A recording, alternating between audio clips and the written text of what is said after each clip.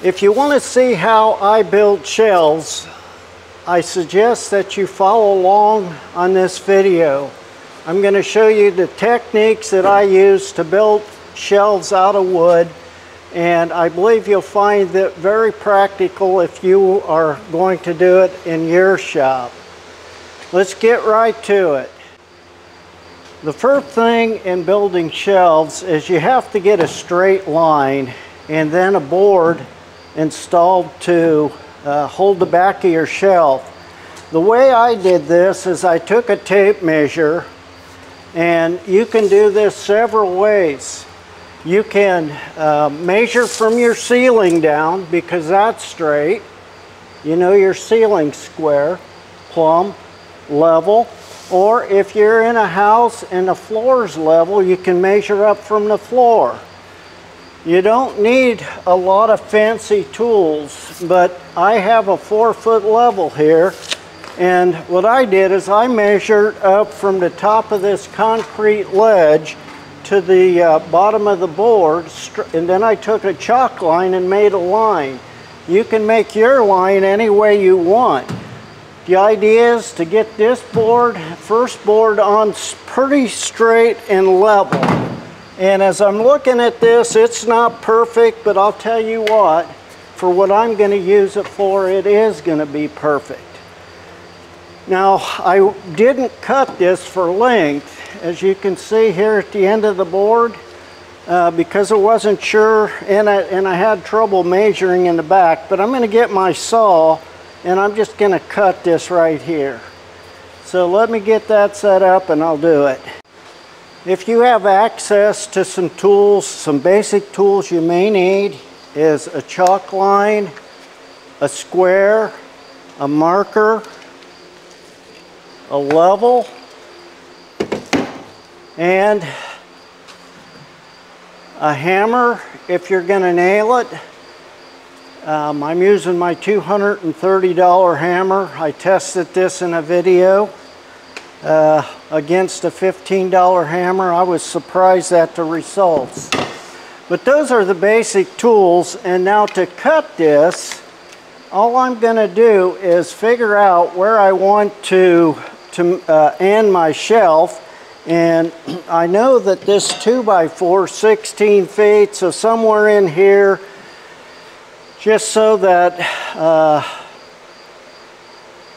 it ends up on this rib since it's higher. So I'm going to cut it right in there somewhere. And all I'm going to do there is take my square and just place it, ah, it doesn't really matter where, right there and make me a line. Then I'm going to get my saw set up and cut that. When cutting something, if at all possible, set your saw for depth. Mine needs to be set down just a little bit. On this saw, it's real easy to do.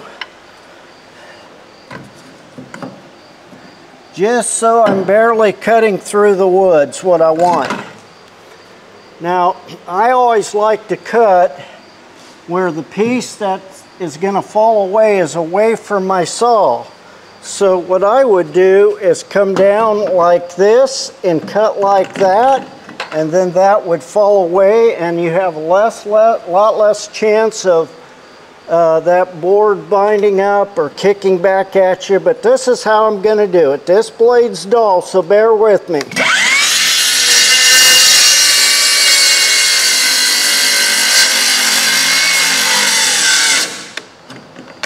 I guess my battery's dead too.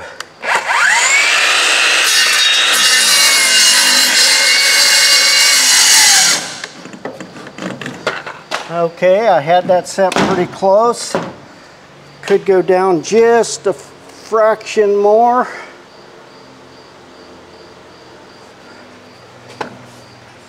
It didn't quite cut all the way through. Right there. Let's see if that does it. I need to get a battery in here.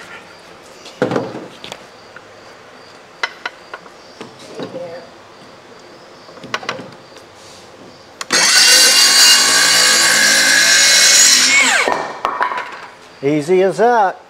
Okay, what I've done is I went to the local lumber yard and got me some more lumber and I want this to be 16 inches from here to here so I can get three pieces of uh, shelving board out of one 4x8 sheet of OSB.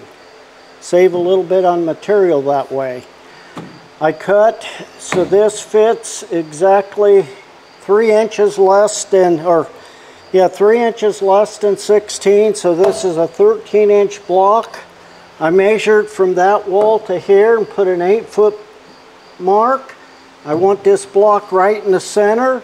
So let's get that piece of shelving and just see if this is gonna fit. I put this up here temporarily just to hold this all in place. I've got another block there and I have a block at the end. Let me get a shelving board, which I've cut these boards uh, off camera. I bought the uh, non-structural grade OSB and I'm not sure what I think about that because it uh, it actually ends up being what do I want to say? Just a little bit over eight feet and a little bit wider than four feet. So to be exact, that's not going to happen. Let me show you what I got. That That's going to fit real good. I need to go get me some shorter screws, but I'm going to screw everything in the framing. I nailed that first piece down, but this will all be screwed this here fits perfectly right here. It's bowed out a little bit back here, but I can push that in, and once it's screwed here and here, that'll hold just fine. This will hold a lot of material. There's the shelf, at least the first one. I'm going to put a two more up, just like this. Uh, this turned out pretty good. Just cut a few 2 by 4s some OSB, some screws, and a level. I did use a screw gun that come in real handy. It came in real handy. So the first shelf, basically what you see here is what it's going to be. There's not going to be a lot of weight on here. I weigh about 185 pounds and you can see that not going anywhere for what I'm going to put on it. Boy, that hurt my belly. Ouch, shouldn't have done that. There you have it. I'll get the other two built and I'll show you what I got. Well, I got this done, but I gotta say it kicked my butt. I'm tired. Got all three shelves up. Uh, you can see how they're framed. I showed you somewhat on this first one and the other two are uh, this exactly the same. So uh, we're going to call this project complete. If you have any uh, projects like this that you've done, share them with me. I'd like to hear about it. If you like what I bring you, to you on my channel. I'd encourage you to subscribe and hit the notification button, let you know when uh, next video is coming up. It's the next day and the reason I waited to finish this is I wanted to show you how I loaded those shells up already and it's just uh, amazing how quickly you can fill shells up. So I started building two more shells over here. The reason being is I needed more space. I need two more 2x4s to finish them up and then I can load those up. Thanks for watching again. And if you like the channels or the videos that I bring to you, check these two videos out here. Video and a, and a uh, playlist you might be interested in. Can it be fixed? Sure, it can. Can you fix it? You're darn right you can. Until the next one.